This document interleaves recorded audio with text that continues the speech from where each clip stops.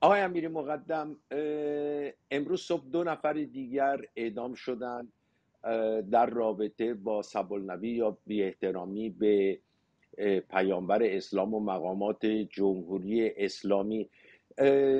فکر نمی کنید هر روز بیشتر ایران تحت حاکمیت جمهوری اسلامی به قرون وسطا و قبل از دوران روشنگرانی و رنسانس اروپا شباهت پیدا می‌کنه. بله درود بر شما. ببینید جمهوری اسلامی از در واقع از همون روزهای اول استقرارش در ایران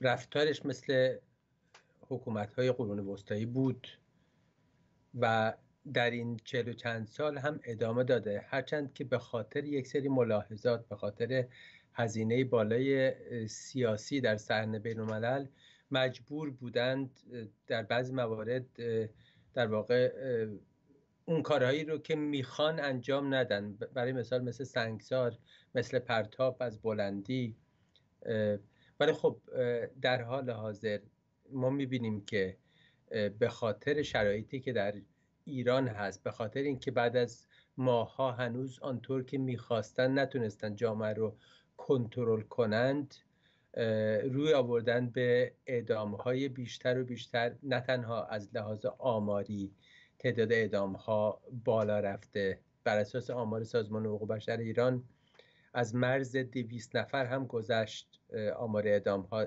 امسال. در چهار ماه نخست سال. و علاوه بر اون دامنه اتهاماتی رو که براش احکام اعدام رو اجرا می‌کنن هم گسترش داره میدن. اعدام برای سب نبی به نحوه که اینها منتشر کردن حتی در خبرگزاری خودشون به طور وسیع انتشار دادن این در واقع یک سیگنال خیلی مهم هست که اینها می‌خواد به مردم بفرستند که ما حاضریم به هر جنایتی دست بزنیم برای ادامه بقای خودمون. و و همونطور که سازمان حقوق بشر هم بیانیه منتشر کرد این باید یک نقطه عطف باشه در رابطه بین کشورهایی که با آزادی بیان احترام می‌گذارند و جمهوری اسلامی. این امر باید غیر قابل تحمل یک امر تحمل ناپذیر باشه. وقتی که کسانی رو به خاطر ابراز عقیده. حالا چه با عقیدهشون موافق باشیم یا نه. اینها رو بکشند به قتل برسونند در سال 2023 میلادی. صدها سال بعد از اون که در قرون وسطا این کارها رو انجام می‌دادن این جنایت رو انجام می‌دادن یکی از کشورهایی که عضو سازمان ملل هست و رابطه دیپلماتیک داره داره این جنایت رو انجام میده. و من فکر می‌کنم که این باید نقطه عطفی باشه در روابط اروپا به خصوص و جمهوری اسلامی. آقای امیر مقدم از برخی ترپندا استفاده می‌کنن جمهوری اسلامی با توجه به گستردگی شبکه های اجتماعی و نقشی که شبکه های اجتماعی دارن برای اینکه حواس ها منحرف بشه.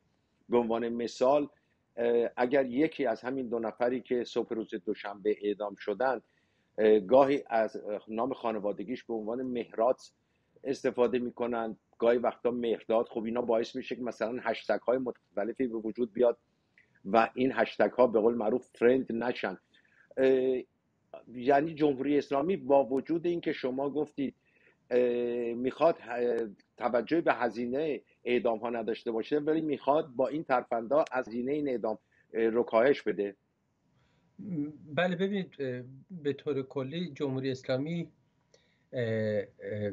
یک چیز براش مهم هست. اون مسلحت نظامه و وقتی که هزینه جنایاتی رو که مرتکب میشه خیلی بالا میرن این دیگه به مسلحت نظام نیست. برای همین سعی می‌کنه که از ترفندهای مختلف استفاده کنه. حالا یکیشون می‌تونه باشه اینکه اسامی رو یا اخبار رو زد و نقیز منتشر می‌کنن اسامی رو درست منتشر نمی‌کنن.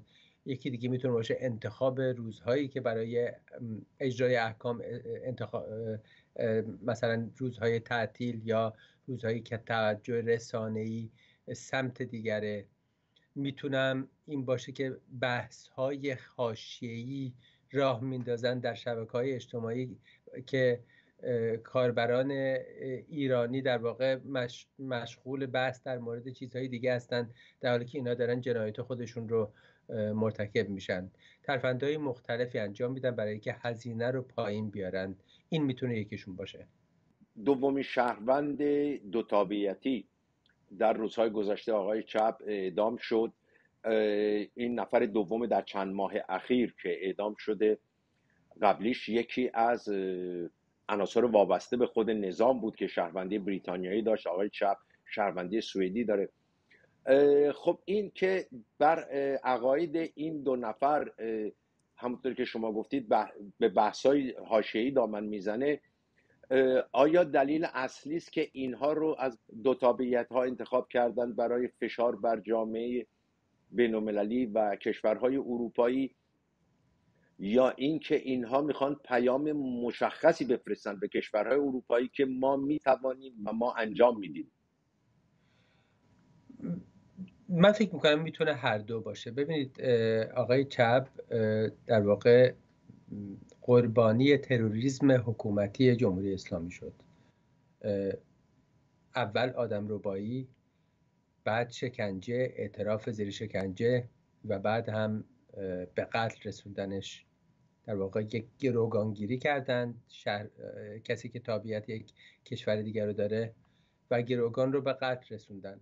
حالا اینکه چرا ایشون رو انتخاب کردن؟ خب میشه اینطور فکر کرد که هزینه سیاسی به قتل رسوندن این گروگان یعنی آقای چپ شاید به خاطر همین بحث ها به خاطر تبلیغاتی که جمهوری اسلامی کرده سالها شاید هزینهش کمتر از کشتن گروگان های دیگر باشه. و خب ولی خب پیامی که میرسونه همونه. یعنی در واقع داره بعد از ماهها عقب نشینی به خاطر اعتراضات در صحنه بین الملل در واقع داره یک قدرت نمایی می‌کنه از طرف دیگه نمی‌خواد حد اکثر بها رو بپردازه. میشه گفت که در بین گروگان ها هزینه به قتل رسوندن آقای چعب شاید پایین تر بوده. به خاطر اتهاماتی که بهش وارد کردن به خاطر تبلیغاتی که جمهوری اسلامی روش سالها سرمایه گذاری کرده از جدایی از تجزیه طلب خوندن گرفته تا بسیاری موارد دیگه. خب اینا همه کمک می‌کنه که حساسیت مردم کمتر شه نسبت به این ادام ها و واکنششون هم ضعیفتر باشه. و متاسفانه میشه گفت که گاهی وقتها موفق میشه در این کارش. یک پرسش آخر آقای امیر مقدم. دو شهروند دو تابعیتی دیگر احمد جلالی و جمشید شارمه که اولی پاسپورت یا شهروندی سوئد داره دومی آلمان. اینها هم حکم اعدامشون تایید شده.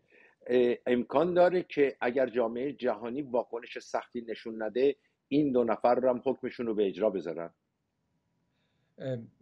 ببینید هم مردم ایران هم جامعه جهانی با یک حکومت تروریستی سر و کار دارند. یعنی تروریسم از آدم روبایی گرفته تا کشتن افراد برای ایجاد روب و وحشت. این تنها چیزی است که اینها در واقع به خوبی انجام میدن. مولوی عبدالحمید گفته بود که هنرشون اعدامه. واقعا تروریسم هنر ایناست. اینها هر کاری رو که از دستشون برمیاد برای ادامه بقا می‌تونن انجام بدن. به همین دلیله که سازمان حقوق بشر ایران هم در یک بیانیه گفت که اگر جامعه جهانی واکنش قاطع به, حکوم... به این جنایت حکومت نشون نده نه تنها شهروندان دو تابعیتی دیگه در ایران بلکه هیچ شهروند اروپایی حتی در نزدیکی مرزهای ایران امنیت نخواهد داشت. این حکومتی که نه می‌تونه مشکلات مردم رو حل کنه. وابسته است به سرکوب به کشتار به گروگانگیری برای ادامه بقای خودش. برای شهروندان خودتون هم که شده باید این کشور اروپایی باید واکنش قاطع نشون بدن. دیگه محکومیت فایده نداره. با سپاس فراوان از همراهیتون. سپاس از شما.